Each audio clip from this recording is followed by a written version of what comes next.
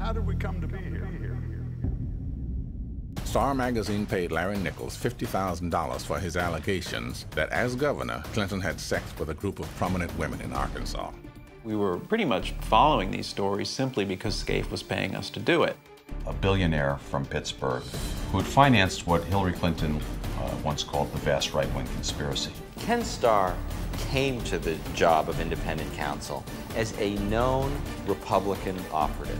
He was a walking appearance of conflict of interest. It was just astonishing to see all these characters come in with their Ivy League degrees and their Gucci briefcases get taken to the cleaners by a bunch of junior college dropouts from Arkansas. There wasn't one of them that was a semi-normal person.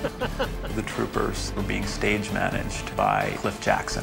The strategy was use anything to inflict damage. Many of us have done stupid things in our lives. None of us have had $80 million spent by thousands of investigators to try to see what all these stupid things were.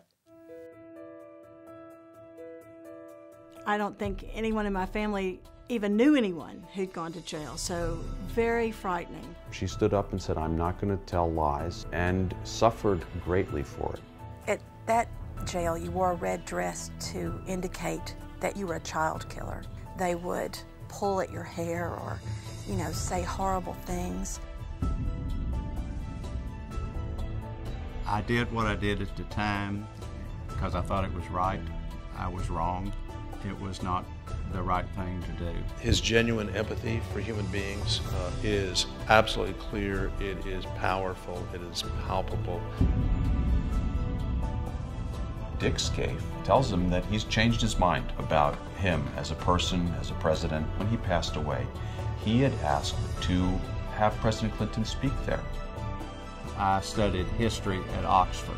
The current mood in America is reminiscent of 1932 Germany. We're, we're, full of fear, we're full of apprehension, we're full of resentment, and we're looking to scapegoat people.